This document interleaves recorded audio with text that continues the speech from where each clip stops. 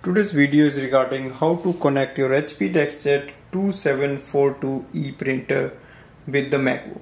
So this is a Wi-Fi setup we are going to do and we will add the printer in MacBook for wireless printing and scanning. So first step is to switch on the printer and enter this printer into the setup mode. So go to the control panel of the printer.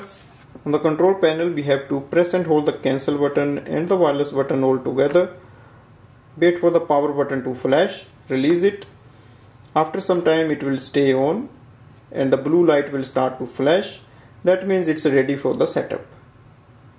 Now go to your macbook. In the macbook you have to go and open the hp smart app.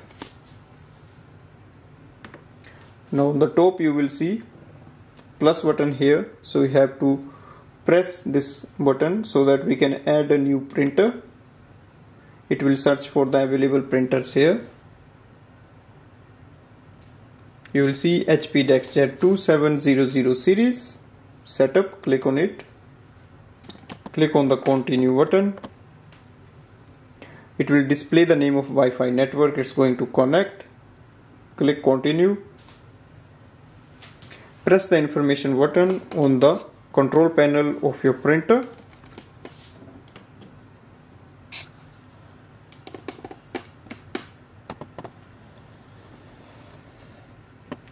wait for the all the steps to complete. Once you see printer is connected click on the continue button. Click continue. Select the country you want to use this printer.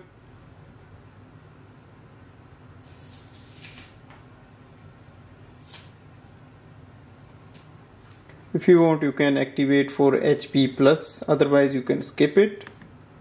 Also you can create account for instant discount for your ink or you can skip. You can send a link to other devices.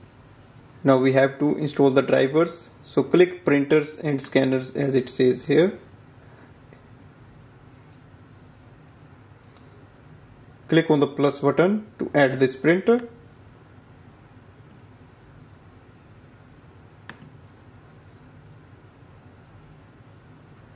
Click add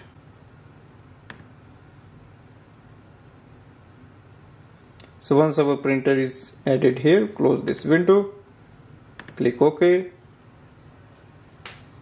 Click on the print button so that we can get a confirmation if our printer is working or not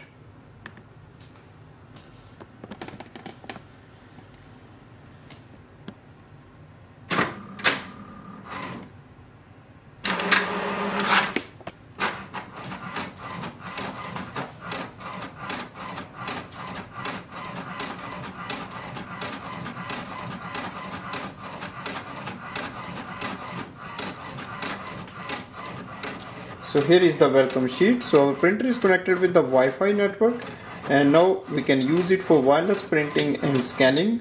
If you go to the main app in your MacBook you will see all the details of the printer here. It has all the options like scanning printing and if you want you can do other things as well from here. You can just check the ink cartridge level and everything.